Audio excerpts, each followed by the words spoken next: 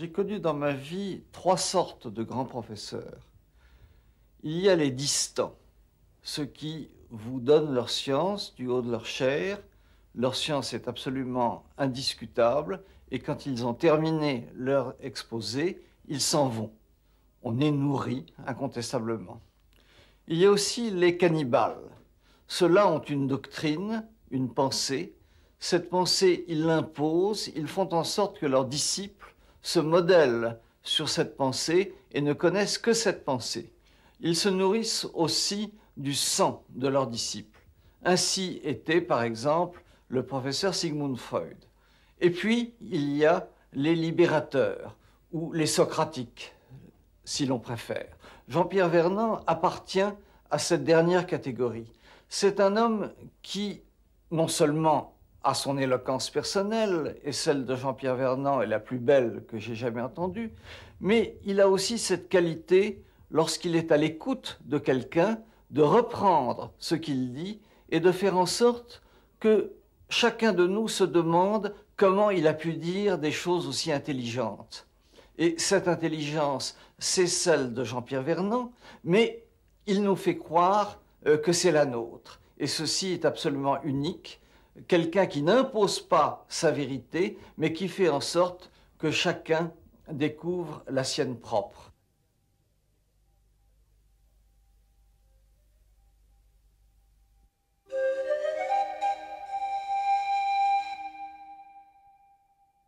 Mon cher JP, si je ne me trompe, nous avons fait connaissance en novembre 1957.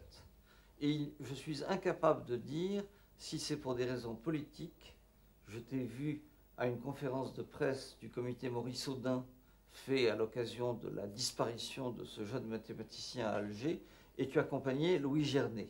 Et je t'ai entendu euh, au Centre de psychologie comparative euh, d'Ignace Meyerson euh, présenter un exposé. Euh, je suis euh, pas capable de dire le quelle rencontre était la plus importante, mais il est significatif que ces deux rencontres soient mêlées. tu étais à l'époque un communiste déjà fortement en dissidence. Tu étais aussi quelqu'un qui, depuis huit ans à peu près, t'échinait sur la pensée grecque. Et lorsque j'ai pu suivre ton cours à partir de 1960, parce que j'ai eu la chance d'être suspendu, euh, tu travaillais sur les origines de la pensée grecque, euh, ce petit livre qui a été ton premier livre. Et au fond, si je réfléchis, euh, le point essentiel était de tirer les conséquences d'un événement énorme, le déchiffrement du linéaire B quelles étaient les conséquences de ce déchiffrement pour l'historien de la pensée grecque, et en particulier dans quelle mesure est-ce que la naissance euh, de la raison que l'on attribuait aux Grecs était quelque chose de lié à la naissance de la police? Voilà les, deux questions qui te paraissaient cruciales euh, à l'époque. Est-ce que je me trompe? Non, certainement pas, tu as tout à fait raison. Je crois que, point d'histoire, c'est à la réunion du comité Audin que nous nous sommes vus pour la première fois. Nous avons parlé en tous les cas. Oui, que nous avons parlé en sortant avec Gernet, toi et moi, que nous avons parlé du temps des dieux et du temps des hommes. Alors, tu as raison, le, le point de départ de ma recherche, le premier livre que j'ai publié et le premier article que j'ai publié dans, les, dans Annales, économie, société, civilisation, s'appelait Du mythe à la raison déchiffrement du linéaire B mycénien, ça voulait dire que nous avions pour la première fois la possibilité d'avoir des documents écrits, puisqu'ils étaient déchiffrés, sur des formes d'organisation sociale, disons, entre le XIVe et le XIIe siècle avant Jésus-Christ. Et que le tableau que d'après ces documents on pouvait dresser de ce qu'avait été la, société déjà de Grecs était complètement différent de ce que nous trouvons avec les premiers textes écrits sur lesquels on travaillait jusque-là, c'est-à-dire les textes homériques. Ça avait été l'intuition de Moses Finlay dans son livre Le monde d'Ulysse. Tout à fait, tout à fait.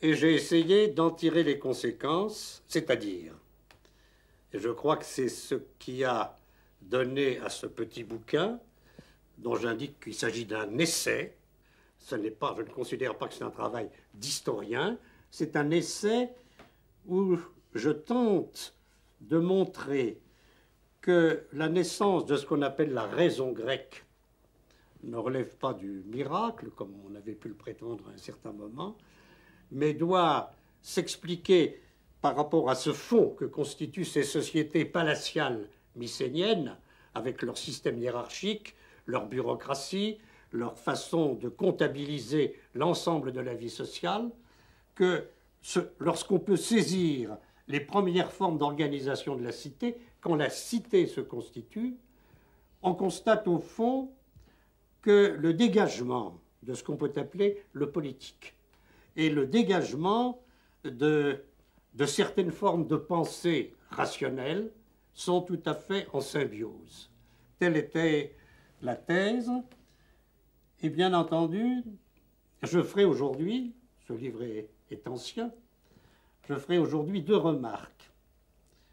Je dirais que, comme toujours, ou comme la plupart du temps, ce projet de montrer que ce qui fonde la possibilité d'une pensée, comme chez les Ioniens, dégagée, de, qui, ne pense plus en termes de puissance religieuse et de généalogie, que ce qui rend ça possible, c'est le fait que le débat contradictoire, la discussion, l'argumentation, le fait qu'il y a des discours opposés qui, sur la place publique, vont se, lutter l'un contre l'autre, c'est ça qui est la condition première d'une pensée rationnelle dans d'autres secteurs. Mais ça, on le voit déjà chez Homère. Ça, on le voit déjà chez Homère, dans la mesure où, dans la fameuse scène du bouclier, du bouclier on aperçoit qu'il y a, il y a deux, deux parties qui, en quelque sorte, sont placées sur un espace neutre et vont développer leurs arguments. En présence de vieillards. En présence de vieillards. Mais enfin, on est là dans un domaine qui est celui quand même du pré-juridique, et l'avènement du droit est un des éléments de, ce fonctionnement rationnel dans la société dans son ensemble. Alors, si je réfléchis maintenant, et je crois que, que je peux le dire, une des raisons pour lesquelles tout cela m'est apparu très clairement, premier point. Et deuxième point, une des raisons pour lesquelles j'ai éprouvé le besoin de, de le mettre par écrit et d'en faire quelque chose qui avait une forme assez démonstrative. C'était que, comme tu l'indiquais tout à l'heure, j'étais membre du Parti communiste, je faisais partie de ce qu'on appelait l'opposition, et ce que je voulais montrer, c'est que dans toute organisation politique, ou dans tout système d'État, où le débat public et contradictoire n'est pas considéré comme la pierre de touche fondamentale, on se trouve au fond dans une forme de pensée mythique ou religieuse. Et bien entendu, cette démonstration, pour moi, elle visait à, faire voir qu'un État comme l'État soviétique ne pouvait pas incarner la science, la raison et une domination intellectuelle de la vie sociale et de l'histoire, mais relevait totalement de la pensée religieuse. Tu voulais montrer aussi sans doute que l'État mycénien n'était pas le seul État bureaucratique qui exista au monde. Oui, bien entendu. Et là encore, m'inscrivant dans toute une tradition sur le despotisme oriental, je montrais que l'État mycénien, même s'il n'était pas tout à fait semblable aux monarchies ou aux États du, du Proche-Orient, en avait quand même un certain nombre de, de traits. Il y a un deuxième point le petit bouquin s'appelle Les origines de la pensée grecque, le point de départ. Et il y a un sous-titre où il y a un autre article qui le complète et qui s'appelle Du mythe à la raison. On pouvait donc croire en me lisant, je pense que c'était un, un contresens, qu'au départ en Grèce il y a le mythe, considéré comme une forme de pensée particulière, spécifique et universelle, la pensée mythique, Et puis, à un moment donné, il y a un saut, et on se trouve dans la raison, une autre forme de pensée complètement différente. Alors, j'avais pris certaines précautions. Dans ma conclusion, j'indiquais que les Grecs n'ont pas inventé la raison, pour une raison toute simple, c'est que ça n'existe pas, la raison. Il y a des formes de rationalité qui sont liées au domaine que tel groupe humain explore. Ça n'est pas pareil suivant qu'il s'agit des lois physiques, de la géométrie, de la médecine. Et j'avais essayé de montrer que ce qui caractérise la rationalité de cette cité archaïque et classique, c'est une rationalité politique, c'est-à-dire un effort pour mettre en œuvre des démarches qui mettent de l'ordre dans les relations entre les hommes, beaucoup plus qu'on ne prétend trouver les lois de la nature. Ça n'est pas la raison de la physique expérimentale. ça, c'est pour euh, la raison, mais pour le mythe. Pour le mythe, il n'y a pas le mythe parce que, d'une part, quand on regarde l'évolution du terme mutos en Grèce, on voit que c'est beaucoup moins simple. Mutos veut dire simplement parole. Et donc, il n'y a pas au départ d'opposition entre mutos et logos. L'opposition, elle se dessine à un certain moment. Alors, c'est d'autant plus valable que les anthropologues ont bien montré que si on peut parler de pensée mythique ou d'une forme de pensée de ce genre, c'est parce qu'on est dans des cultures de tradition orale, et où c'est à travers des récits qui sont transmis de génération en génération oralement que se constitue une sorte de savoir collectif, de savoir partagé, qui constitue à la fois le cadre et le contenu de ce qu'une culture considère comme la vérité. Mais là, nous ne sommes plus dans une culture de tradition orale. Alors justement, nous sommes dans une culture où l'écrit euh, pénètre petit à petit. Et à cette époque, euh, on peut, euh, si, si, tu veux, il y avait deux pensées qui dominaient la réflexion sur le mythe. L'une était celle de Dumézil avec ses études sur les trois fonctions indo-européennes. L'autre était celle de Lévi-Strauss. nous sommes au moment où il va publier La pensée sauvage et où il a déjà publié le premier tome euh, d'anthropologie structurale. Toi-même, à cette époque, tu publies deux articles euh, qui sont des jalons. L'un, euh, le mythe des races chez Hésiode, est une analyse de texte dans l'esprit de Dumézil, si l'on veut. L'autre, Hermès Estia, est une analyse de Panthéon. Et dans ce, ce, dernier texte, tu confrontes ces deux divinités, l'une Hermès, qui est en quelque sorte la divinité du mouvant, l'autre Estia, la déesse du foyer, qui est la euh, divinité de la stabilité, enracinée euh, dans le foyer. Et les deux sont des analyses structurales. Comment les définirais-tu, ces analyses, aujourd'hui? Je dirais d'abord ceci. C'est que précisément, dans le cas grec, lorsque nous parlons de mythe, lorsque je parle du mythe hésiodique des races, j'ai affaire à tout autre chose que les anthropologues, qui récolte des, versions orales multiples, j'ai affaire à un texte. Et par conséquent, mon boulot, mon travail, ça va être de faire une analyse aussi précise que possible de ce texte.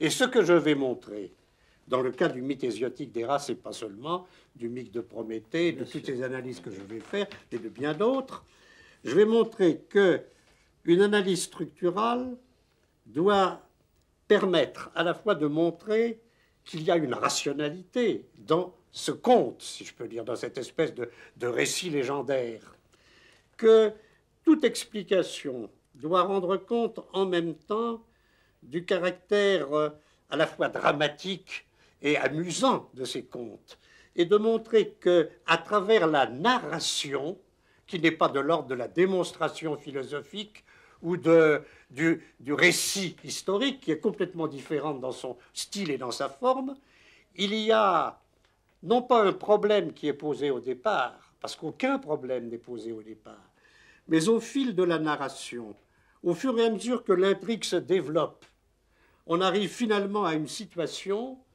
qui permet de comprendre des problèmes très généraux comme qu'est-ce que l'homme, quelle est sa place entre les bêtes et les dieux, pourquoi il y a des femmes, pourquoi nous mourons, pourquoi nous naissons, pourquoi nous travaillons, quel est le rapport entre le rite sacrificiel, la culture céréalière, la possession du feu et la création de la femme. C'est-à-dire, ce que j'essaye de faire, et c'est bien en ce sens une analyse structurale, c'est sur un texte de montrer que même une, narration et une intrigue euh, qui, n'ont aucun caractère démonstratif, quand on regarde comment le texte est tissé, comment les champs sémantiques se recoupent, on comprend qu'il y a sous le texte et à travers le texte quelque chose qui est vraiment de l'ordre intellectuel. Oui, ça c'est un texte, mais quand il s'agit d'un panthéon, alors dans le cas du panthéon, dans le cas du panthéon, bien entendu, jamais j'aurais fait ça s'il n'y avait pas eu du Mésil et Lévi-Strauss. Dans le cas d'un panthéon, je dirais volontiers ceci. Je prends deux divinités qui normalement n'ont aucun rapport. Estia, qui est à la fois un nom commun, qui veut dire le foyer, et qui est une divinité, la déesse du foyer. Et puis Hermès. Ces deux divinités ne sont ni mari et femme, ni frère et sœur, ils n'ont pas de lien, en quelque sorte institutionnel. Et pourtant, nous les voyons associés. D'abord dans les représentations figurées, où on les voit en couple, et ensuite dans l'hymne à Estia, où Hermès est invoqué en même temps qu'Estia. La question est pourquoi Alors là, toute mon affaire, c'est de montrer qu'un panthéon, c'est non seulement une façon, dans un polythéisme, c'est-à-dire où il y a beaucoup de dieux, de montrer les rapports de ces dieux les uns avec les autres, mais à travers cette classification des puissances divines, de présenter un cadre de compréhension du monde. Il y a une espèce de cadre logique qui est là. Il Dans faut le rappeler qu'à cette époque, on écrivait encore qu'Hermès n'était pas autre chose qu'un tas de cailloux. Oui. Qu'un tas de cailloux. En effet, c'était une indication sur la route. Pourquoi? Le fait même que ces deux divinités sont opposées et associées. Estia, c'est l'espace comme centre, comme, comme espace clos sur lui-même, enracinant la maison dans la terre. Hermès, c'est le mouvement. Il traverse les portes, les frontières, il unit les dieux et les hommes, il unit ce monde-ci au monde souterrain. Il n'est pas possible de ne pas voir que leur association traduit quelque chose de très important sur le plan intellectuel, qui est la nécessité, avant qu'il y ait la géométrie, avant qu'il y ait des plans urbains bien organisés, avant que l'espace soit pensé comme idéalité abstraite, la nécessité de penser l'espace comme clôture avec des points privilégiés, des, points de départ, des centres. Et en même temps que l'espace pour être pensé demande qu'il y ait un centre privilégié, il faut comprendre qu'on peut se déplacer dans l'espace et que par conséquent, de tout point de l'espace, on peut passer, en franchissant une frontière, d'un point à un autre. Alors tout cela débouche sur un livre qui est ton second livre, qui est un recueil d'articles que publie François Maspero en 1965. Il s'appelle Mythes et pensées chez les Grecs et il porte un sous-titre Études de psychologie historique. Ce livre est dédié à Ignace Meyerson, un de tes deux maîtres, mais ce n'est pas trahir son esprit, que de dire qu'il porte aussi la marque de Louis Gernet, ton autre maître. Et pourrais-tu définir, par rapport à Meyerson et par rapport à Gernet, ce qu'est la psychologie historique? Par rapport à Meyerson, parce que la psychologie historique, c'est Meyerson. Bien sûr. Bon, Gernet était ami avec Meyerson. Gernet, dans, les dans, dans, la période où il est venu à Paris, à l'école des hautes études, à la sixième section, où il a enseigné a collaboré, a publié dans le journal de psychologie. Qu'est-ce qui caractérise la psychologie historique? Je dirais ceci en deux mots. Le courant majeur de la psychologie à cette époque, c'est la psychologie, la psychologie scientifique, c'est une psychologie du comportement. C'est-à-dire on étudie les comportements des individus en, le en, les mettant dans des conditions de laboratoire, par exemple, où on peut exactement mesurer comment il se comporte. Alors la grande version... Comme un rat. Comme un rat, bien sûr. D'ailleurs, ça vient, le comportement, euh, elle vient d'abord de la psychologie animale. La grande nouveauté de Meyerson, c'est que cherchant à définir ce qu'il appelle le niveau humain, en quoi un psychologue qui s'intéresse à l'homme se trouve dans des problèmes différents de ce qu'il fait lui-même quand il fait de la psychologie animale et qu'il examine l'usage de l'instrument chez les singes. C'est quoi? C'est le fait que chez l'homme, il y a toujours, il y a ce que Cassirer rappellerait la pensée symbolique.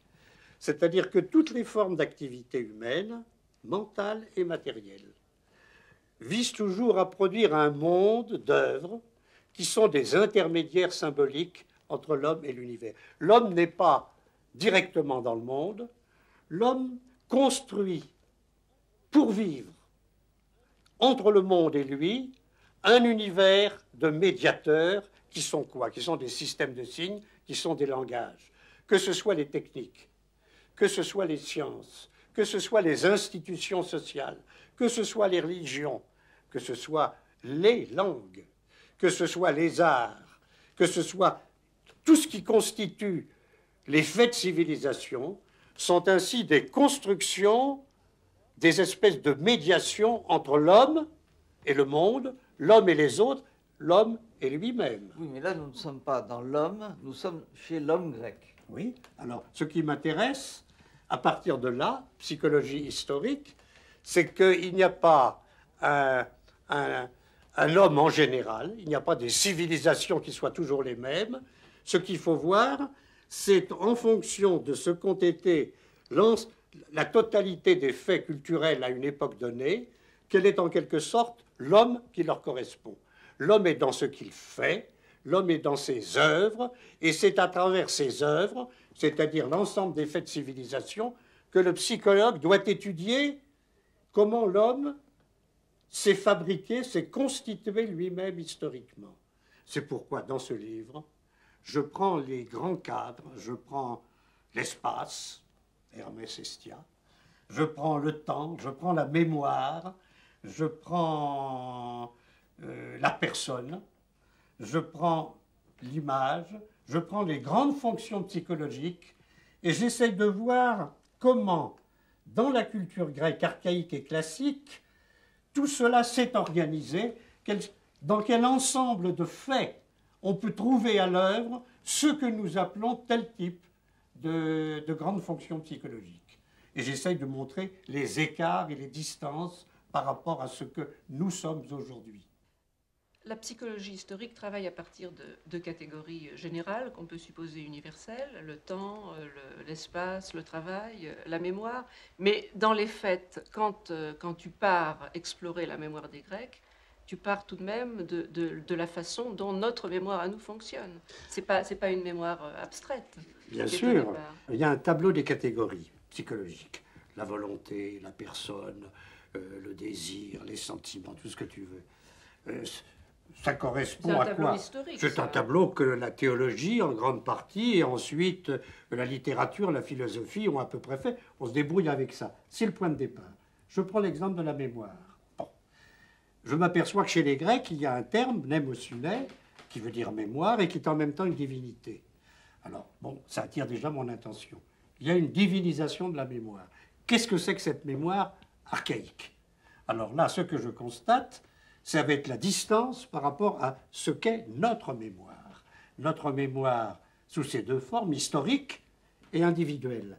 Notre mémoire, elle est une façon d'organiser et de maîtriser le temps passé. Elle traite le passé comme un objet, et grâce à ce que Alvax appelle les cadres sociaux de la mémoire, elle met en place une sorte de, d'échelle qui permet de mettre les choses en perspective. Je regarde en Grèce et je vois que, au moins aux époques archaïques, c'est très différent. Pourquoi? Parce que la mémoire fonctionne dans des milieux qui sont des milieux spécialisés. Par exemple, là où il y a une invocation à mnémosyné, chez les Aèdes, ce qu'on demande à la mémoire, ce que le chanteur, le poète inspiré et aveugle demande à la mémoire, c'est de lui révéler ce qui s'est passé autrefois, c'est-à-dire de le projeter, de lui donner la présence directe aux événements passés qu'il raconte. Pas seulement ce qui s'est passé, mais aussi ce qui est et ce qui sera. Bien entendu. Et alors cette mémoire, elle est en même temps une capacité de dévoiler ce qui a été, ce qui est et ce qui sera. Et d'autre part, dans des milieux de sectes, dans des milieux religieux, de sectes, de confréries, cette mémoire est liée à des exercices spirituels, en même temps que corporels, des techniques du corps et des exercices spirituels, une ascèse qui vise à redonner à chaque individu vivant la maîtrise sur ses vies antérieures.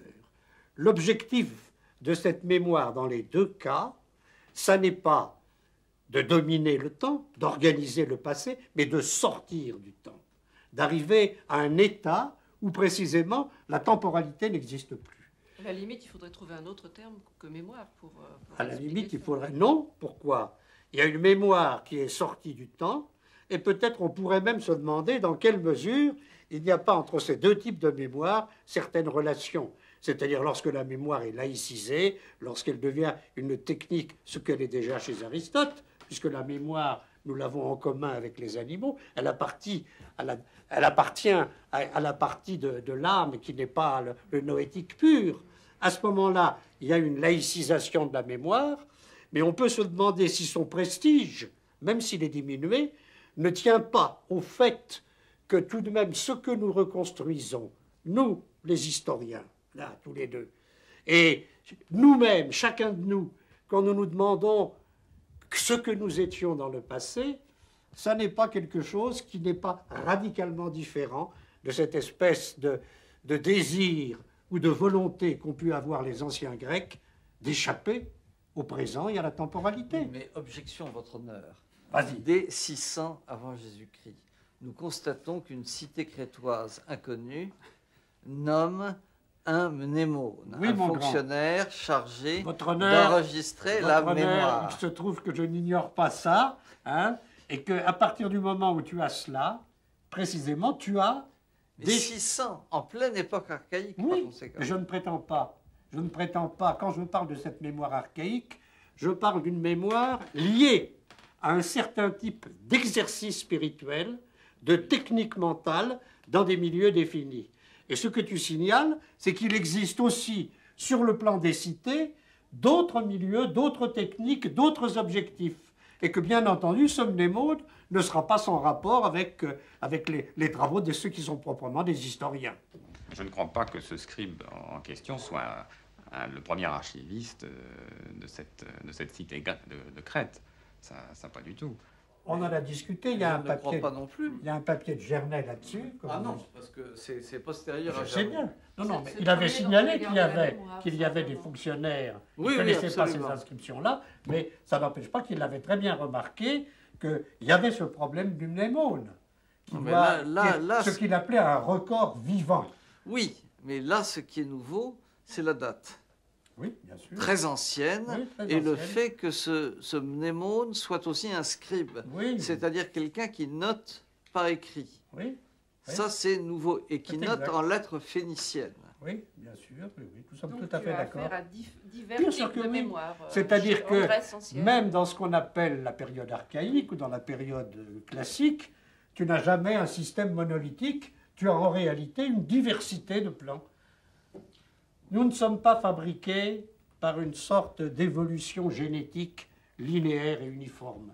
Nous sommes faits de pièces et de morceaux. Et l'homme, l'homme grec, lui aussi, il est fait de pièces et de morceaux, plus ou moins euh, compatibles les uns avec les autres. Et tant mieux. Tant mieux.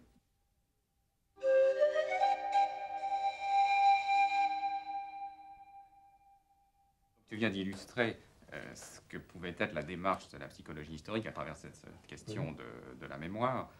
Et, et plus largement, le livre dont, dont on est parti, donc euh, de 1965, se voulait euh, une- le début d'une entreprise de psy- sous le signe, placée sous le signe de la psychologie historique, c'est-à-dire cette enquête sur la- l'aventure de l'homme intérieur grec. Oui, Et nous sommes alors en 1965. oui. Or, euh, en 1968, tu publies un ensemble de textes de Gernet sous le titre Anthropologie de la Grèce ancienne.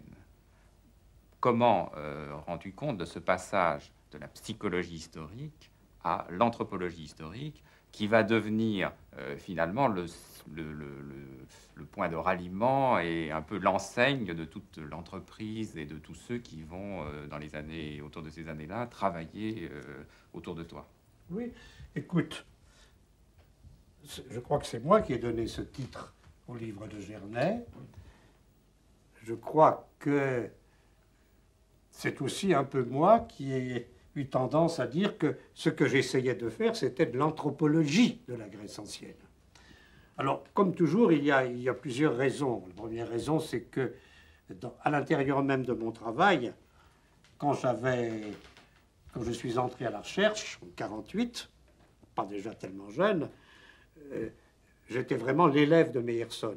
Je le suis demeuré, mais je me suis frotté aussi à d'autres, et en particulier à Lévi-Strauss, et, que l'anthropologie m'est apparue comme quelque chose de fondamental. Et je te répondrai à travers un des textes que j'ai lus de toi tout à fait dernièrement, et qui montre bien cela. Parce que tu as eu une période où tu avais les Grecs et nous. Et au fond, c'est un peu comme ça que j'ai raisonné, moi. C'est-à-dire, je partais de ce que nous étions, du, tableau ou du catalogue de nos fonctions, de nos... J'aimais pas beaucoup le terme fonction. Je disais pratique mentale, attitude mentale, essayant d'être plus concret. Et puis je regardais en Grèce comment ce tableau se dessinait autrement. Et puis, qu'est-ce qui se passe? Il se passe qu'il n'y a plus seulement les Grecs et nous modernes, la cité et notre vie, il s'est passé qu'il y a aussi un troisième terme qui intervient, ce sont ceux qu'on peut appeler les primitifs. Euh, qu'on a d'abord appelé les sauvages. C'est-à-dire qu'à ce moment-là, le regard n'est plus simplement une confrontation temporelle entre le présent et le passé à l'intérieur d'une même culture, mais que le regard se porte sur une confrontation entre des types différents de civilisation. Par l'intermédiaire des sauvages ou des primitifs, le jeu, c'est à la fois est-ce que les Grecs sont des primitifs? Est-ce que les primitifs doivent être compris à travers ce que nous savons de certains aspects de la Grèce? Quel est le rapport entre les primitifs et nous? Et est-ce que les Grecs viennent se placer en quelque sorte à mi-chemin entre les primitifs et nous? Alors, c'est un problème qui a été posé au début du XVIIIe siècle par la phyto, c'est un problème aussi qui a été posé par Thucydide lorsqu'il a écrit euh, que les Grecs ont jadis été ce que les barbares sont aujourd'hui. C'est vrai, Ce sont les Grecs qui ont inventé l'évolutionnisme. C'est vrai, oui. c'est vrai. Mais la question n'est pas de savoir qui a inventé ça, la question est de savoir. ils ont posé ce problème de façon très bien directe. Sûr que oui, bien sûr qu'ils l'ont posé, et on le, on le repose dans leur pas ou autrement. Hein enfin, tu dis si tu veux, mais lui, il l'a réglé.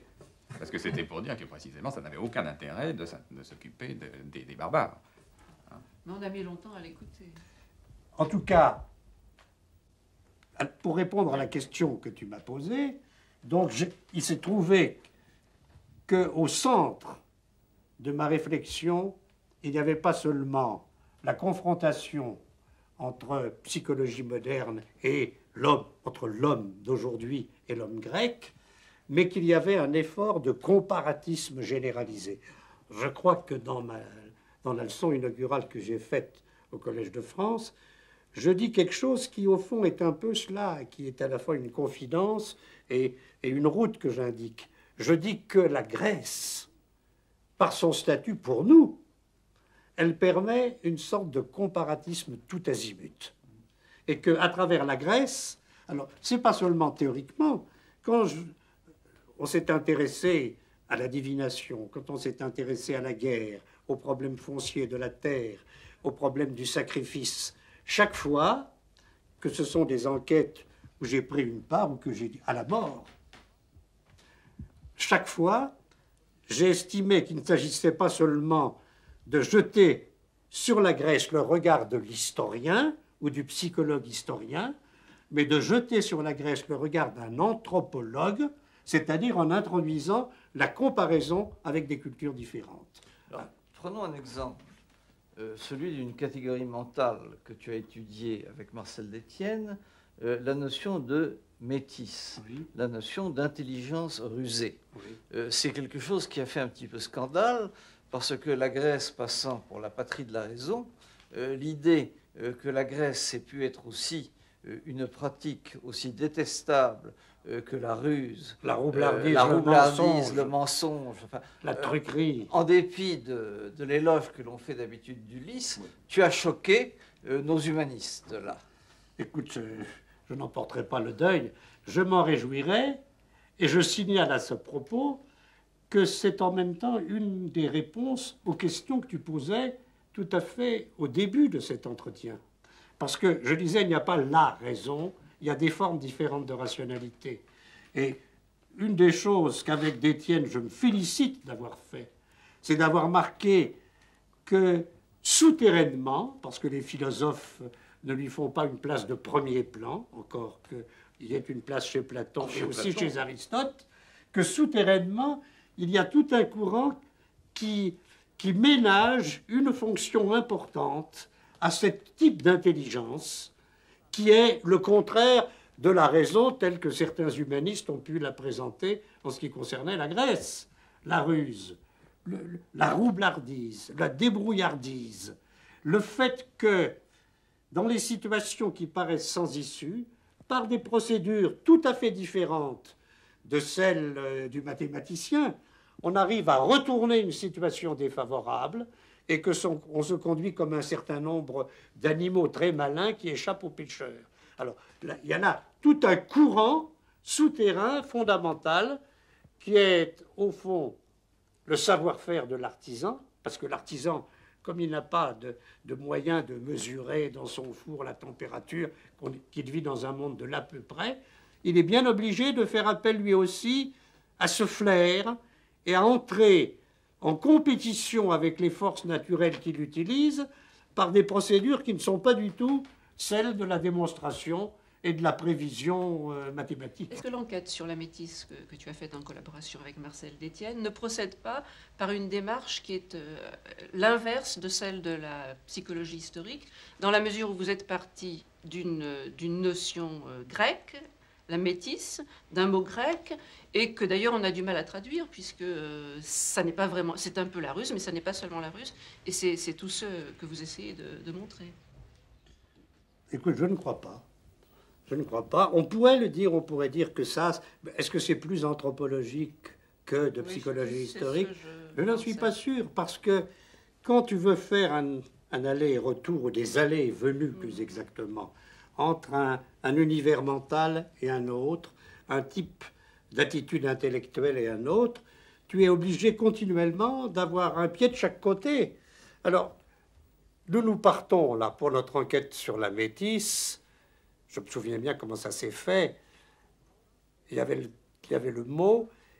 Je crois que le point de départ, ça a été une réflexion sur les, les mécanicas d'Aristote et la façon dont les ingénieurs alexandrins concevaient euh, la possibilité pour l'homme de faire triompher ce qui est plus faible sur ce qui est plus fort. Par exemple, de faire mouvoir un poids très lourd avec une force très petite. Et à partir de cela, de ce renversement, lisant d'autres, des textes complètement différents, l'idée m'est venue que, au fond, tout ça pouvait représenter une espèce euh, d'attitude intellectuelle générale. On a commencé avec Détienne à chercher là. Mais alors, je crois que c'est pas tellement différent de ce que je fais quand j'étudie la mémoire ou quand j'étudie l'étendue. Quand j'étudie l'espace, je pars aussi de quelque chose qui n'a aucun rapport. Estia, Hermès. C'est complètement différent. Tu es obligé de faire cela. Ça n'est pas. L'un n'est pas anthropologique et l'autre serait, relèverait de la psychologie historique. C'est plutôt la façon dont tu utilises ces allées et venues et dont tu les utilises pour établir une compréhension d'un univers qui est différent du tien, qui n'est peut-être pas exactement le même lorsque on a une ambition anthropologique générale. Oui. Alors justement, peut-être encore un mot à propos de, de l'anthropologie et de, de la signification que ça peut prendre et de ce passage de psychologie à anthropologie historique. Euh, il me semble qu'à la fin de ta leçon inaugurale au collège, euh, tu, tu évoques euh, cette antiquité dont les derniers liens avec nous se défont et sur laquelle tu t'interroges en anthropologue, c'est-à-dire que finalement cette interrogation sur l'Antiquité est au bout du compte une interrogation sur nous-mêmes, sur notre propre société, sur notre propre temps, et euh, notamment euh, dans sa dimension religieuse et dans la place qu'il fait euh, aux religieux. Alors n'y a-t-il pas là un autre mouvement d'aller-retour qui justifie l'emploi de ce mot C'est vrai, c'est un, un, mouvement, il me semble que, que je l'ai suivi aussi, dans la mesure où quand même une grande partie de mon travail et de ma réflexion à porter sur, sur, des, sur des questions religieuses. Et là encore, il me semble que j'ai surtout insisté sur les différences. J'ai surtout insisté. Quand on parle du religieux, la tendance quasi naturelle est de dire bon, ben, le religieux, c'est une attitude universelle. Moi, ce qui m'a intéressé, c'est en quoi un polythéisme comme celui des Grecs représente à tous les niveaux, sur le plan intellectuel, sur le plan des attitudes religieuses, sur le plan des pratiques et sur le plan des rapports entre le religieux et le civique et le social, quelque chose de complètement différent. C'est-à-dire, j'ai essayé de montrer qu'il n'y avait pas, qu'il n'y avait pas plus dans la religion grecque, dans tous ces dieux qui sont dans le monde, d'opposition entre le divin et le mondain. Les dieux sont dans le monde. Entre le sacré et le profane. Il y a des degrés de sacralité, mais le sacré, il est partout. Et surtout, qu'il n'y a pas d'opposition entre le social, le civique, même le politique, et le religieux, dans la mesure où, le politique lui-même est, est, lié profondément et tissé avec le religieux, et où le religieux est lui-même complètement intégré dans la vie politique c'est la cité où on s'occupe des takoïna, c'est-à-dire ces, choses communes qui comprennent à la fois le domaine des dieux et des hommes. Qui comprennent à la fois le domaine des dieux et des hommes, et le fait que, bien entendu, les dieux constituent une race et un plan d'existence tout à fait différents des hommes, ce sont les immortels, bienheureux et toujours jeunes, on est tout à fait d'accord là-dessus, mais ça n'empêche pas que c'est la cité, il a plu aux Athéniens les lois sacrées ou les décisions concernant telle divinité, c'est l'Assemblée qui les prend. C'est-à-dire que l'Assemblée règle les problèmes religieux aussi bien que les autres. Oui, elle met simplement les dieux en tête de ses, ben décrets. Elle le met en tête de ses décrets, mais ce sont des décrets. Mais ce sont des décrets, des décisions communes. Ce sont des décisions communes de la cité. C'est-à-dire qu'il y a cette chose qui nous paraît extrêmement difficile à saisir, et c'est ce genre de choses qui m'intéresse et qui me passionne, c'est qu'à la fois le grec, je crois, a le sentiment qu'une cité n'est harmonieuse et qu'une constitution n'est juste que si elle reflète un ordre qui est d'une certaine façon sacral, sacré. Donc euh, qu'on a besoin de s'enraciner dans, dans quelque chose qui vous dépasse, et qu'en même temps, il y a l'idée que ce sont les hommes qui, en réfléchissant, prennent des décisions, y compris celles qui concernent ce sacré. Alors on peut dire, mais alors quoi eh, Qu'est-ce qu'ils font? Eh Ils font ça, les deux. Les deux. Donc si, tu as fait de l'histoire des religions, c'est parce que euh, la religion est profondément imbriquée dans tout le reste, dans le, politique, dans, la vie quotidienne ou bien, Non, c'est pas pour ça, j'ai constaté ça. Mais si j'ai fait, si fait l'histoire des religions, euh, c'est sans doute que un, un, vieil athée comme moi avait un petit quelque chose qui le chatouillait et qui faisait que euh, je ne pouvais pas ne pas poser ce problème. D'ailleurs, comment pourrait-on ne pas le poser? Pourquoi? Parce que dans la conception d'une psychologie historique, où l'homme, c'est fondamentalement la fonction symbolique, ce qui est le plus caractéristique de la fonction symbolique, c'est la religion. Puisque dans la religion, euh, c'est continuellement qu'il y a par derrière les apparences, par derrière le monde, par derrière notre vie, un au-delà qui est caché et que nous essayons d'atteindre à travers des médiateurs. Mais est-ce que ça facilite les choses d'être athée, justement, pour, pour devenir historien des religions? Je ne sais pas. Il y a beaucoup de gens qui m'ont expliqué qu'on ne pouvait pas faire l'histoire du christianisme si on n'était pas chrétien. Alors là, il faudrait dire peut-être qu'on ne peut pas faire l'histoire de la religion grecque si on n'est pas païen. Et peut-être que j'ai un, bout de moi qui est païen. Je ne crois pas. Il y a des néo-païens qui pensent là. Mais ah non, non, non, néo-païens, excuse-moi. Ils ne sont pas néo-païens. ils sont néo tout à fait autre chose. C'est un problème anthropologique. Nous sommes d'accord. Dans la Non, non, c'est un mesure problème. où il doit y avoir. Écoute-moi, j'ai dit, je pense que dans toute société, il y a des choses diverses, sinon il n'y aurait pas d'histoire, il y a des tensions, des ambiguïtés. Si c'était une société, quelque chose de massif, de parfaitement cohérent, ça ne bougerait pas. Et en chacun de nous aussi. De sorte que, en chacun de nous, il y a la possibilité d'essayer de comprendre à la fois les autres. Je ne suis pas Françoise Frontisy, mais quand j'essaye de comprendre ce que tu es, il y a une partie de moi qui essaye d'entrer en écho. Et de la même façon, quand j'essaye de comprendre les Grecs, je lis ces textes, je- j'essaye de m'en pénétrer, et en même temps que j'ai une attitude objective et distante, il y a des moments où je j'essaye d'entrer dans la peau d'un grec. Vous me direz c'est impossible. Je sais bien que c'est impossible, mais je ne peux pas entrer non plus dans la peau de Vidal-Naquet ni de François Hartog. Ça, c'est la condition humaine. Alors, puisque tu Nous ne sommes pas le bon Dieu. On ne connaît pas les gens de l'intérieur. Il faut des médiations. Il faut construire une image d'Artog, une image de Vidal-Naquet, une image de Françoise Frontisy, une image des Grecs. Et c'est à travers cette image que j'entre en contact.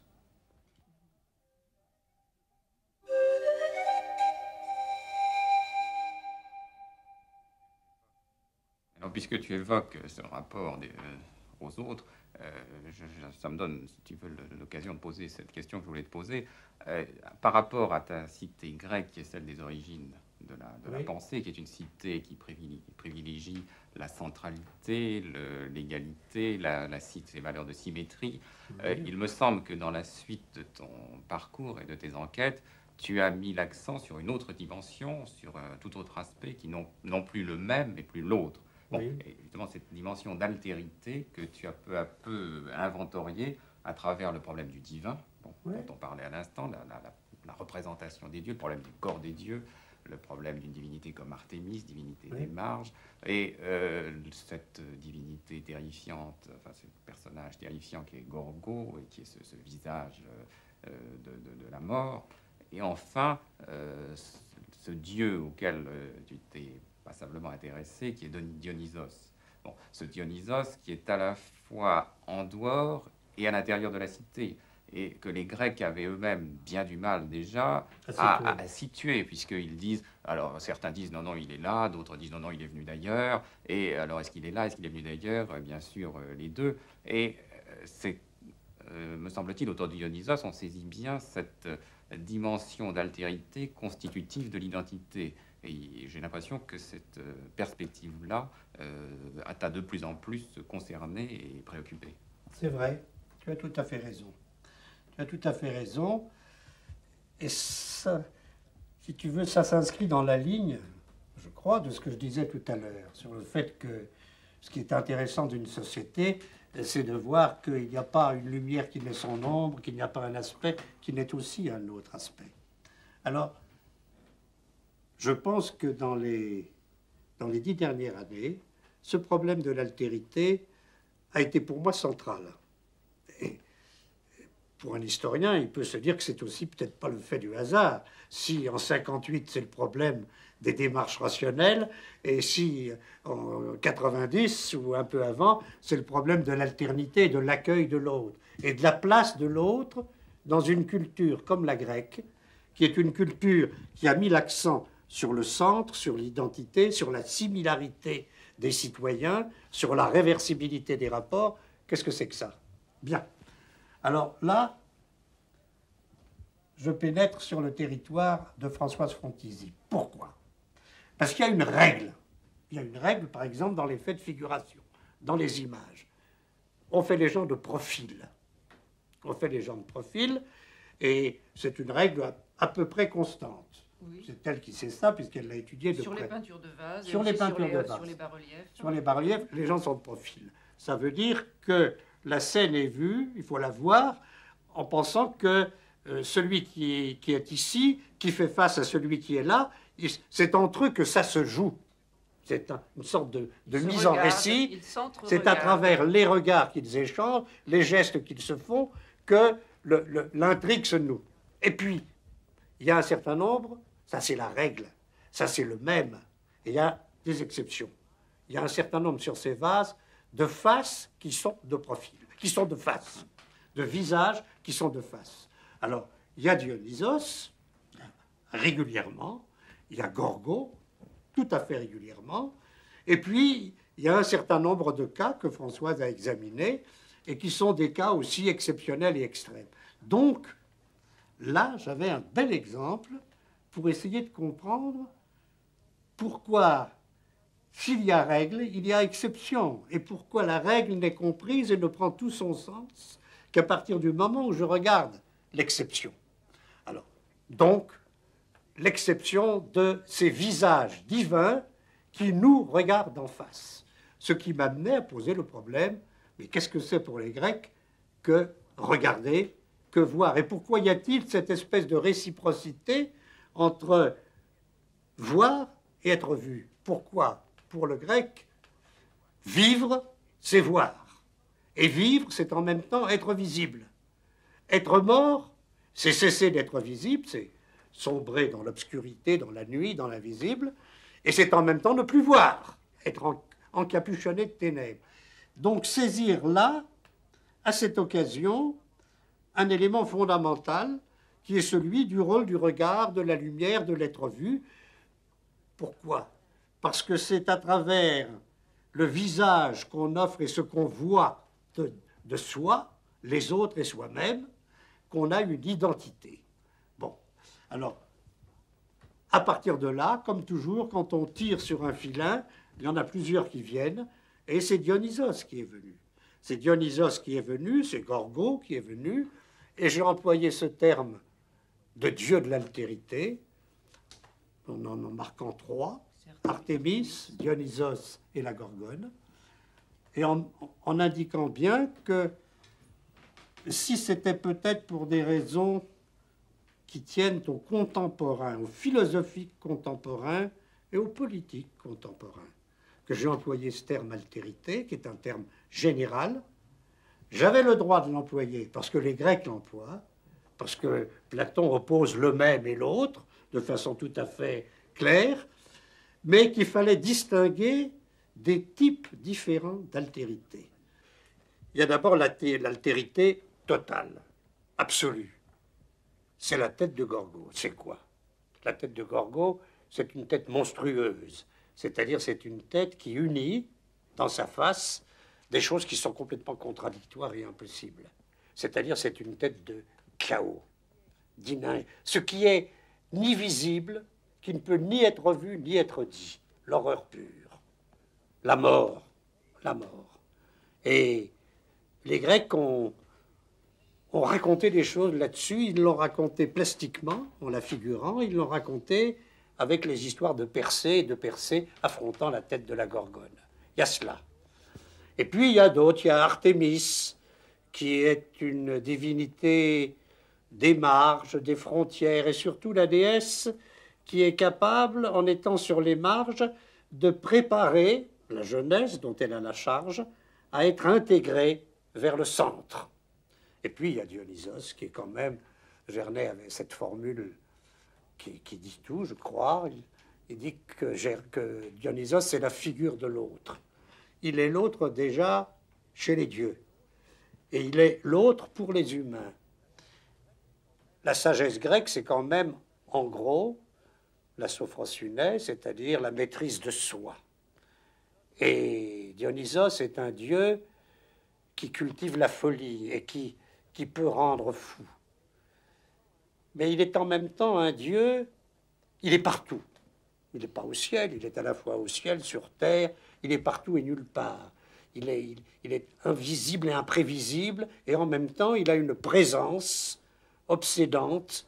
Lorsqu'il est là, il n'y a plus que lui. Et quand il vous regarde, il vous regarde dans les yeux, par sa face, par son masque. On est fasciné par lui, on est pris dans son regard, et il vous possède. Et quand il s'agit d'un cortège féminin, ben, d'un tias dionysiaque, il fait danser ces femmes, il les chevauche à sa guise.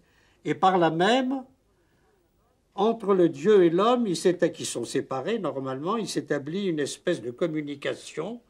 Le Dieu joue l'homme, le chef de Thiaz, et celui qui est possédé joue le Dieu.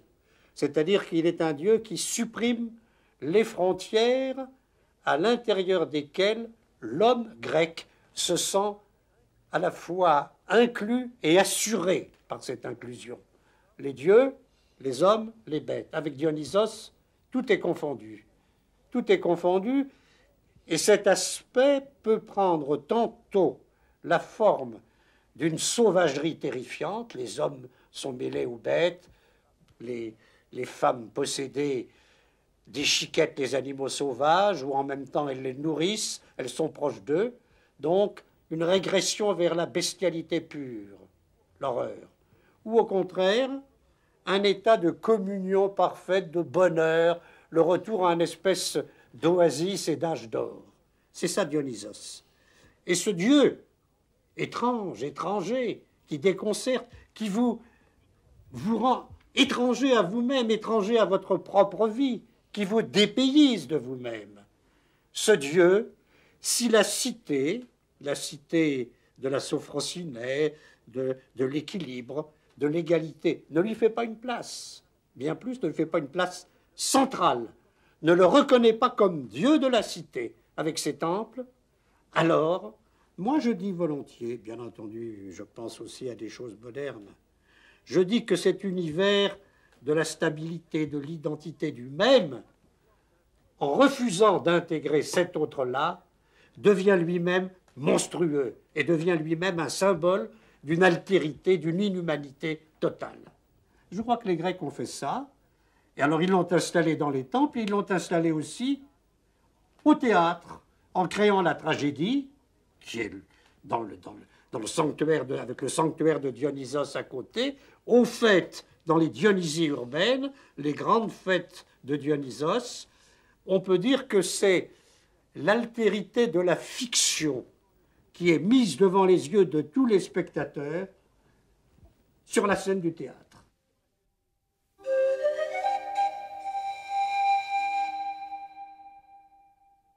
Ce Dionysos, enfin, ces problèmes de la tragédie ont donné lieu à deux, deux recueils en collaboration avec, euh, avec Pierre Vidal-Naquet. Et la façon dont tu abordes la tragédie pose, pose plusieurs questions. Est-ce qu'il s'agit simplement par rapport, puisqu'il y a là-dedans des articles qui sont déjà anciens, qui datent de 62, et que déjà dans l'article Estia Hermès, tu, tu travaillais sur un, sur, sur, sur, Electre. Et il y a de, très beaux messages là-dedans. Est-ce qu'il s'agit simplement d'un nouveau champ d'investigation avec la tragédie, ou bien est-ce que ça a entraîné euh, un infléchissement de, de, nouvelles directions, de, méthodes? Lorsqu'on feuillette, le, lorsqu'on regarde les titres de ces articles, on est frappé par la diversité. Il y a le moment historique, il y a dans ces, chapitres euh, quelque chose qui peut paraître comme ce que tu as fait de plus historique, et en même temps, euh, les textes, l'étude des textes est au, centre de, ce travail. Il y a d'autre part le point de départ de toute une discussion avec les, psychanalystes. il y a là un champ assez ouvert. Comment est-ce que tu, définis ce... Bah, c'est un champ que, que j'ai parcouru avec... Euh, avec Pierre Vidal-Naquet, puisque les deux volumes sont des volumes communs. Communs non pas que les articles aient été écrits par l'un et l'autre, mais qui rassemblent des papiers et de l'un et de l'autre. Et si nous les avons rassemblés, en tout cas c'est vrai pour moi, c'est parce que nous étions sur la même longueur d'onde hein, dans cette affaire. Alors, j'essaye de, de, mettre les choses un peu en ordre. Il me semble que dans ce que j'ai fait, je me borne à cela, il y a d'une part un point de vue qui a essayé d'être un point de vue d'historien. Voilà. Au 5e siècle, on voit surgir un genre littéraire, et pas seulement un genre littéraire, des institutions. On organise ces, spectacles tragiques, et on l'organise suivant les normes, suivant les règles qui sont celles mêmes de la cité. C'est de la cité d'Athènes. De la cité d'Athènes, bien entendu, tu as tout à fait raison. En cela que c'est historique. C'est en cela que c'est historique. Oui, mais il faut dire que ce n'est pas grec, c'est spécifiquement athénien. Oui, même si ensuite les, ça se répand. Hein. Bon, donc, en historien, et mon problème est celui-là, ben, voilà quelque chose, une innovation institutionnelle incroyable. La cité prend en main l'organisation d'un certain type de spectacle, d'un concours. Non seulement les organise, mais elle juge en décernant un prix, suivant les mêmes règles que celles qu'on voit au tribunal, de recrutement du jury, si je peux dire. Et d'où ça vient ça? Parce que non seulement c'est une invention institutionnelle, mais c'est l'invention d'un genre d'œuvres littéraires tout à fait nouveau. D'où ça vient? La question se pose parce que, comme tout le monde le sait, la floraison de ce genre atteint en quelque sorte son sommet dans l'espace de moins d'un siècle. Ça continue ensuite, à la fois parce qu'on joue les pièces des trois grands tragiques et qu'on en joue aussi quelques, quelques autres. Mais pour les Grecs déjà, c'était quand même Échille, Sophocle et Euripide qui représentaient la tragédie. C'est vrai en 406, avec les C'est vrai en 406, c'est tout à fait vrai, puisque Aristophane, pour lui, la tragédie, c'est cela. Bien. Alors, problème, à quoi correspond ce que j'ai appelé le moment tragique. J'ai essayé, en historien, là, cette fois, de comprendre qu'est-ce que ça signifiait, et j'ai essayé de montrer, dans la ligne de ce que Gernet avait indiqué, que c'est un moment parce qu'il y a tragique, la tragédie impliquant une espèce de problématisation, une espèce d'interrogation sur ce qu'est l'homme, sur les rapports de l'homme et de ses actes, sur ce qu'est la faute, sur ce que peut être un crime de sang, la vengeance, le rétablissement de la justice. Toutes ces questions sont au centre, mais elles sont posées comme des problèmes, des interrogations, des énigmes dont on ne peut pas apporter, sur lesquelles on ne peut pas apporter une réponse absolument précise. Et il m'a semblé, Gernet avait montré dans une série de cours, que la tragédie utilise un vocabulaire de droit. En quelque sorte, qu'elle se bat avec ce vocabulaire du droit qui est encore en train de se construire, qui est indécis, hésitant. Au fond, toutes les grandes tragédies tournent autour de crimes de sang. C'est toujours ça. C'est toujours quelqu'un qui a été assassiné, soit au début, soit à la fin, soit au début et à la fin en même temps c'est-à-dire de problèmes qui relèvent des tribunaux. Et que la tragédie est une interrogation, je crois, sur le fondement même de ce qui sera à Athènes le jugement des crimes de sang. Et derrière cette interrogation sur le fondement, comment est-ce qu'on peut faire cesser cette continuelle vendetta par laquelle, lorsqu'un homme a été tué, il suscite un vengeur qui va tuer son assassin et que ce vengeur incarnera la justice, mais qu'en incarnant la justice, il devient lui-même un fautif qui, à son tour, doit être poursuivi. Cette espèce de chaîne sans fin du crime et de la vengeance contre le crime. Qu'est-ce qui peut rompre cela? La tragédie pose ce problème, s'interroge, et en s'interrogeant là-dessus, elle se trouve en quelque sorte continuellement confrontée entre un passé légendaire où justement toutes ces grandes familles sont victimes d'une sorte de malédiction qui pèse sur elles et qui fait que indéfiniment le crime répond au crime, le massacre rebondit, et d'autre part, l'organisation par la cité d'un système de tribunaux différents suivant la nature des crimes, distinguant le crime suivant qu'il est de plein gré ou qu'il est contraint ou même qu'il est justifié, donc des degrés de culpabilité, et sont tous ces problèmes que la tragédie brasse et traite. Mais alors, soyons historiens jusqu'au bout, c'est-à-dire déplaçons-nous. Soyons Vidal-Naquet non gouvernants. C'est-à-dire déplaçons-nous. Plaçons-nous en 1585, à Vicence. On veut jouer Lady Proie. On ne joue que Lady Proie. Cela prend 8 heures avec toute une série de, de choristes, de rois, de tout ce, qu'on voudra. Mais il y a un problème qui est posé, qui est celui du masque. Car les, euh, on veut bien accepter que les choristes euh, aient un masque. Mais comment accepter en 1585 que les acteurs principaux parlent avec un masque? Là, euh, le metteur en scène, dont nous connaissons la mise en scène, qui s'appelait Ingenieri, ce metteur en scène dit non, Aujourd'hui, ce sont les visages qui parlent et pas les masques. Est-ce qu'il n'y a pas là un moyen de réflexion sur ce qui sépare le théâtre d'aujourd'hui, qui commence au XVIe siècle, et le théâtre grec? Oui, bien sûr. Bien sûr. Et là encore, c'est pas tout à fait.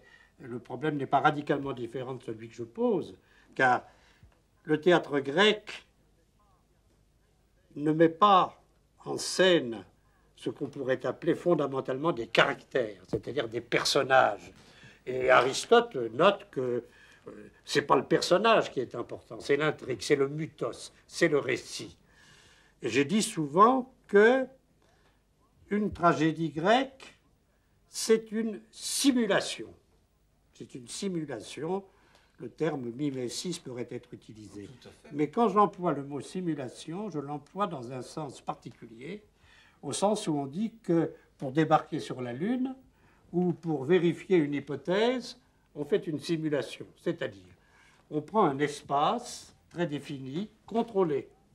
Et dans cet espace, on regarde quels sont tous les cas de figure qui peuvent se produire et dans chaque cas de figure, quelle est la réplique qu'on doit trouver. De la même façon. Et c'est la raison pour laquelle la tragédie grecque peut être jouée au XVIe siècle et est jouée si fréquemment aujourd'hui. Le tragédien, qu'est-ce qu'il fait? Le tragédien, il se donne des personnages qui ont une certaine stature légendaire. Tout le monde connaît en Grèce leur histoire. Alors, en quoi Quel est l'élément de fiction? L'élément de fiction, c'est l'arrangement qu'il va arriver à donner à cette intrigue dans son déroulement. Au départ, les pièces sont en quelque sorte disposées, et toute la tragédie, si j'en crois Aristote, mais je le crois, ça consiste à montrer qu'à partir de ce point de départ, selon toute nécessité ou selon toute probabilité, les choses allaient aboutir à la catastrophe finale. Alors, pourquoi catastrophe finale? Les héros qui sont mis là ne sont ni des méchants, des cacoyes, ni des êtres méprisables. Ce sont, en plus grand, parce que ce sont des héros du temps jadis, des gens comme vous et moi, comme tout un chacun. Et si ça aboutit à la catastrophe, ce n'est pas à cause de méchanceté particulière, ça ne tient pas à leur caractère, ça tient au fait qu'ils vont à un moment donné commettre une faute. Alors il y a une réflexion sur cette faute. Et l'actualité encore aujourd'hui de la tragédie, c'est que quand on regarde ça, on a le sentiment, c'est pas qu'il y a un destin, c'est pas ça. On a le sentiment que les hommes sont construits de telle sorte que sans être du tout ni méchants ni méprisables, ils peuvent à un moment donné se tromper, faire des actes dont ils assument la responsabilité, dont ils ont délibéré, qu'ils ont choisi, et qui, se détachant d'eux, s'insèrent dans un ordre cosmique et religieux qui est celui du monde, et à ce moment-là prennent une signification complètement différente de ce que croyait avoir fait celui qui les a mis en œuvre. De sorte que ça n'est pas le personnage qui est en quelque sorte le père de son acte. Le personnage agit, il se trompe comme chacun de nous.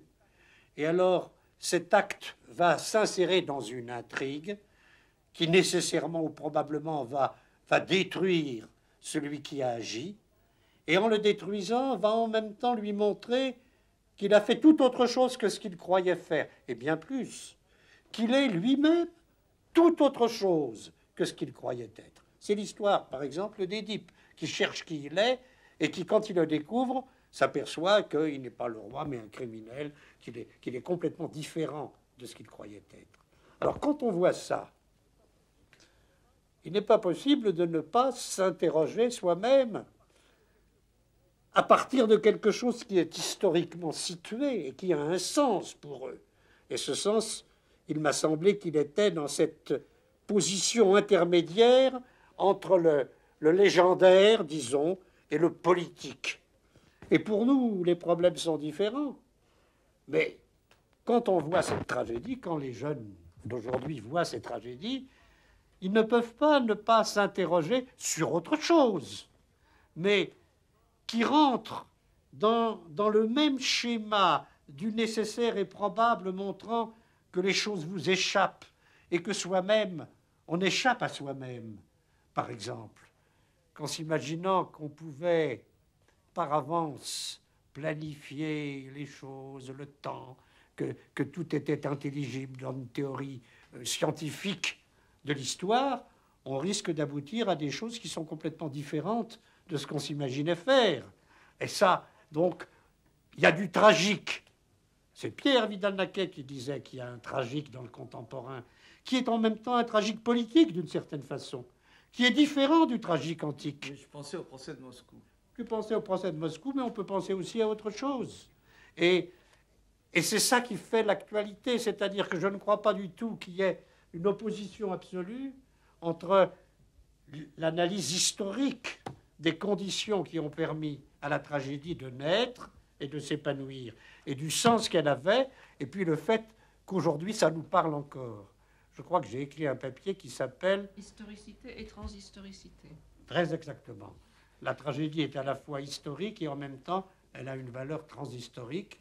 Je répondais à la question de Marx comment se fait-il dans la théorie du développement social avec son progrès, etc., que l'art grec, qui est un art d'enfant, de l'enfance, de l'humanité, soit un art qui continue à nous toucher, à nous émouvoir et à avoir valeur de modèle? J'essayais de montrer en quoi peut-être euh, une analyse historique pouvait répondre de cela. Mais tu répondais aussi à une question de Freud. Oui, bien tu entendu. Tu répondais à ta façon. J'ai répondu à ma façon. Le début de, de mon analyse générale de la tragédie. J'ai fait des analyses particulières, Édith Proie, euh, les bacchantres, Electre, que citait Françoise tout à l'heure, mais j'ai aussi essayé de traiter de la tragédie en général. Et là, je me trouvais dans la discussion, non pas avec Freud, mais avec, avec Anzieux, qui avait écrit un papier sur, je crois, Édipe avant le, avant, le complexe. Édipe avant le complexe. Je l'ai combattu euh, dans un article très polémique. Pourquoi? Alors ça, je crois que dans ma, dans ma querelle avec Anzieux, je crois que j'ai raison. Je crois que j'ai raison parce que l'erreur d'Anzieux est de traiter l'Édipe de Sophocle comme un personnage réel, comme un client qui l'aurait couché sur son, divan. Et alors il psychanalyse l'Édipe de Sophocle et il dit ce pauvre Édipe, il a un complexe, n'est-ce pas? Alors bien entendu, l'Édipe est un personnage de, la tragédie, il n'a pas de complexe. Mais dès que j'ai publié ce papier, un certain nombre de gens, et je crois Jacques Brunswick lui-même, à ce moment-là, m'avait dit mais il y a une autre façon de comprendre, de lire d'un point de vue un peu freudien la tragédie. Non pas de dire que l'Édipe de la tragédie a un complexe, mais que le scénario pris dans son ensemble réclame une lecture qui, à un certain niveau, recouvre ce qui était la problématique freudienne. C'était ce qu'avait écrit Jean Starobinski. C'était ce qu'avait écrit Jean Starobinski. C'est tout à fait exact. C'était ce qu'avait écrit Jean Starobinski que je ne discute pas avec Starobinski, je discutais à ce moment-là avec oui, Anzieux. Tu discutais avec Anzieux, mais tu mettais en cause aussi, et après tout, Alors je disais pas, que je euh, disais la lecture de Freud. Oui, parce que je crois que certains textes de Freud présentent un peu l'Édipe de la tragédie comme quelqu'un qui aurait un complexe et qu'il déclare, et c'est là-dessus que je ne suis pas d'accord, que si cette tragédie nous émeut, si elle nous bouleverse, après tant de siècles, c'est parce que chacun de nous est un petit Édipe en miniature, c'est-à-dire qu'il y a la phrase. Parce que chacun de nous a rêvé de dormir avec sa mère et de tuer son père, que cette tragédie nous bouleverse. Je déclare que ça, c'est pas vrai. Que sous cette forme, c'est pas vrai. C'est pas comme ça. Que Édipe Roi nous émeut, pas pour ça. Et derrière cette querelle avec, certains psychanalystes, cette querelle, écoutez, il faut croire que ce que j'ai fait concernait un peu les psychanalystes, puisqu'ils ils n'ont pas cessé de, de, discuter avec moi et de, d'établir des contacts intellectuels avec moi en me disant que bon, c'était très important dans cette lecture des mythes. Quelle est, si je réfléchis, si j'essaye de faire mon mea culpa, très bonne, excellent comme, comme médecine, je dirais qu'un psychanalyste devrait me faire observer que dans ma psychologie historique, je n'ai pas suffisamment, je n'ai pas, pour ainsi dire, essayé de marquer le rôle de l'affectivité, des désirs. Mon homo grec, mon homme grec, est un homme intellectuel, social, religieux, politique, tout ce que vous voulez. Il y a une érotique, c'est vrai, hein, mais pas cette érotique, c'est une érotique platonicienne, c'est-à-dire très sublimée. Mais l'homme désirant, il n'est pas très présent. Et on me dira, si on est méchant, écoute, voilà, fond, si tu as été, si tu n'es pas entré dans une vue psychanalytique, c'est que tu n'as pas essayé de voir dans tes analyses quels étaient les ressorts du désir. On peut me dire ça. Et moi, je réponds, bien sûr. Je répondrai, oui, c'est vrai, manque. Mais ce que je crois, c'est qu'il n'y a pas plus le désir avec un grand D, un désir qui serait une espèce euh, d'entité qui habiterait pour des raisons biologiques ou aux structures de l'inconscient l'homme en tant qu'homme, mais qu'il y a des formes particulières du désir que je n'ai pas pris assez en compte. Foucault a montré. C'est ce que Foucault a montré. C'est aussi euh, ce que Nicole Laureau a montré dans toute une série d'études. C'est tout à fait exact. Et je pense à elle, justement, y compris dans, dans Proie. Mais alors, ceux qui font ça, comme Nicole, comme, comme le fait aussi, Fromazet-Klin, c'est la lecture du texte. Moi, j'ai souvent dit, en tant qu'historien, que le, texte n'était compréhensible que si on posait un contexte. Et que ce contexte n'était pas un contexte extérieur au texte. Euh, forme sociale, euh, forme d'économie, d'échange, de production, état des techniques, euh, lutte des groupes les uns contre les autres. Ça, ce sont des constructions de l'historien à partir d'un certain type de documents. J'ai dit que le contexte d'une tragédie, il se trouvait, c'était un contexte mental, un certain horizon intellectuel ou spirituel, et que par conséquent, on le trouvait sous le texte, dans le texte. Hein. et de la même façon, pour qu'un psychanalyste fasse une analyse valable, il faut que son analyse ne parte pas de quelque chose d'extérieur au texte, d'un donné, y compris si c'est simplement euh, celui des expériences sur un canapé. Il faut qu'il le trouve dans le texte. Sur ce point, je maintiens tout à fait mon point de vue, et je pense que certains qui s'inspirent de la psychanalyse ont rectifié certaines des déclarations que j'ai pu faire et ont prolongé, et par conséquent, si je n'avais pas un âge canonique, eh bien, je dirais qu'il me reste à faire une anthropologie de l'homme grec désirant.